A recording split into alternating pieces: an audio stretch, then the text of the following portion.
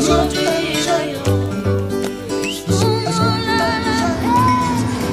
After finishing my fifth home assignment in the USA,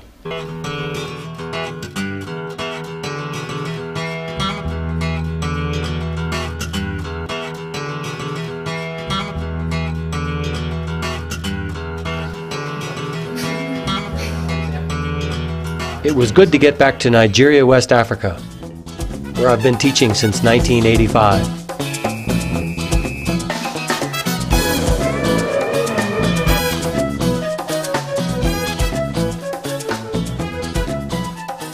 Historically, there have been several ways to do mission work. One way is to do the work yourself.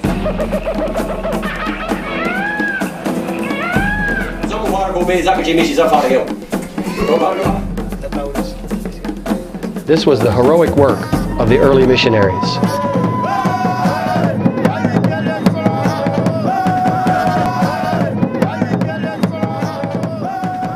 This model still works amongst unreached people groups where there are only a few believers. Another way of doing the work is to multiply yourself by being on a team, equipping nationals for the work among their own people. Where the church is growing rapidly, the real need is for leaders who are mature and able to apply the scriptures to the context of the church.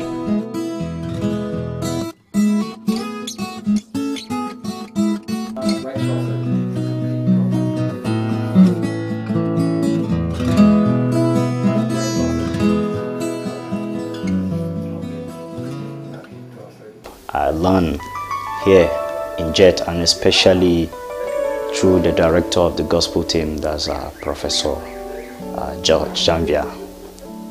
His life is something that uh, we can we can follow. We watch him, we look at him whenever he speaks, whenever he's doing, whenever he's relating with others, we look at his life. I learn puppets also through him. I've watched his life and I look at his life, it is something to emulate. Both spiritually and academic, he balances it. Thank you for your important partnership in this work. Please pray for the development of people who can lead the church to maturity. This is the hope for Africa. Amen.